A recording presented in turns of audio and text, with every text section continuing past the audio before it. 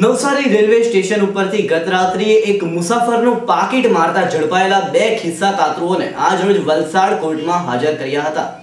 આ બંને આરોપી હેરફેરમાં પણ અગાઉ પોલીસના હાથે ઝડપાઈ ગયા હતા.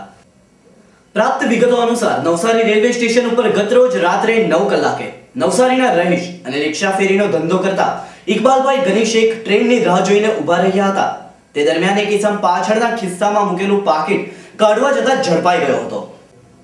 આ ખિસ્સા કાતરું અને તેની સાથે એના સાગરીતને પકડી નવસારી રેલવે પોલીસને સુપ્રત કરવામાં આવ્યા હતા, જેમાં મુખ્ય ખિસ્સા કાતરું અનિલ બંસીલાલ સરદાર ઉર્ફે અશોક, જેની ઉંમર છે ઓગણીસ અને રહે છે આસપાસ નગર, સંજયનગરની પાસે ઉધના અને એનો સાથીદાર રાવી હીરામણ, ઉંમર વર્ષ અઢાર, રહે આશાપુરી સંજયનગર, ઉધના.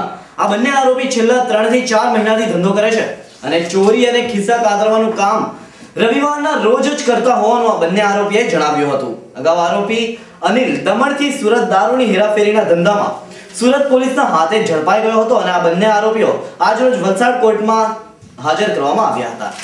હવે પછીના સમાચારો નેહા પટેલ પાસેથી.